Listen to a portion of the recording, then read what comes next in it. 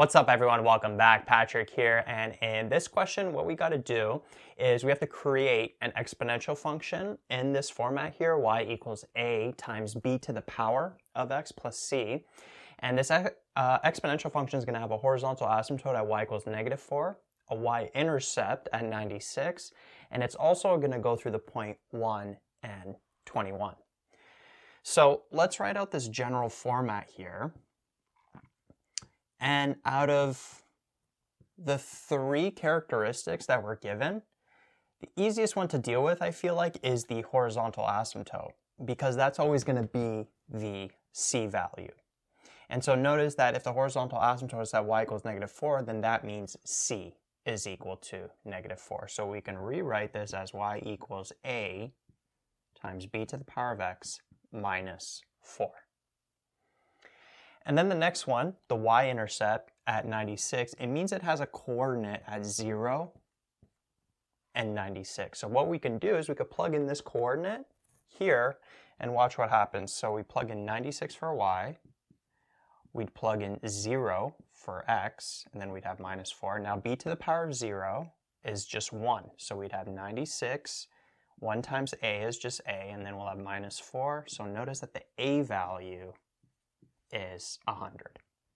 And we were able to get that with the y-intercept. And then, so if we update this function, we got 100 b to the power of x um, minus 4.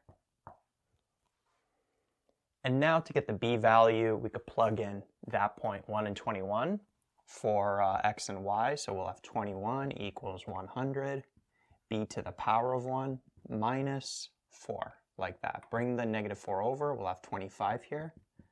100, b to the power 1 is just b.